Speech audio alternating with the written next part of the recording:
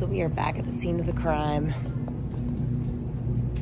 where I refused to get my husband pumpkin pie because we were shopping. So tonight after our giveaway, I decided to come and grab us some dinner.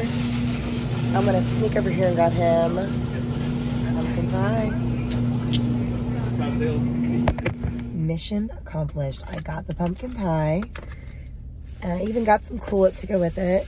But I ordered the food while I was driving to Target to get the pumpkin pie, so it should be done. I'm gonna go in here and get it.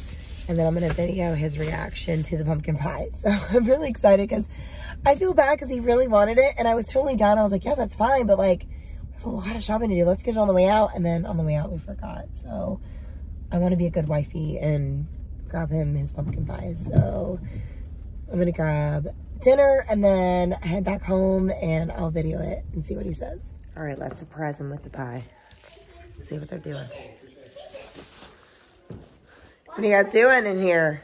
We cannot beat this level. Jason's gonna push continue. What'd you get? Look what I got here. Target? Target? Target. This is Target. I'm pushing it. This is the Cool Whip and the pumpkin pie. Thanks, babe. You're welcome since we forgot last time. I wanted to get it for It you. It was gonna melt last time. Yes, but it's not melting now. Are you mm. excited? Thank you, babe. You're welcome. I love you. All for me.